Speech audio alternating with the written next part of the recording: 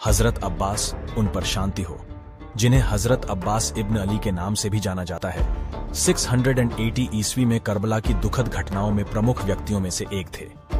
वह हज़रत इमाम हुसैन उन पर शांति के सौतेले भाई थे, जो इस्लाम के पैगंबर उन पर शांति हो के पोते थे।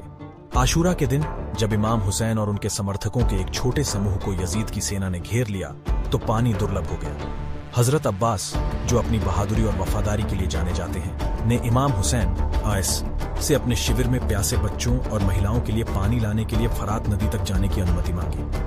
हज़रत अब्बास ने पानी की खाल हाथ में ली और दुश्मनों से लड़ते हुए नदी तक पहुँच गए।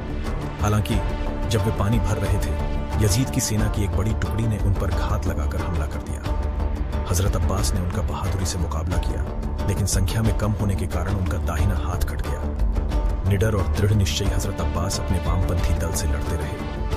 अंत में उसके सिर पर जोरदार प्रहार हुआ, जिससे वह घोड़े से गिर पड़ा। ज़मीन पर पड़े पड़े उनके शरीर को यजीद की सेना के घोड़ों ने बेरहमी से कुचल दिया था।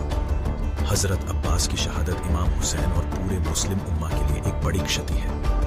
उन्होंने न्याय और सत्य के महान उद्देश्य के लिए अपने जीवन का बलिदान देकर अटूट निष्ठा और निस्वार्थता का उदाहरण प्रस्तुत किया।